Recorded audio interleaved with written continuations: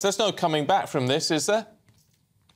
Uh, in the case, for any other MP, I would say no. But in the case of Boris, I don't think you can predict anything. And uh, to say that Boris is gone, finished, never to be seen again, I think is uh, optimistic in the case of those who don't like him and would be very pessimistic for those who love him.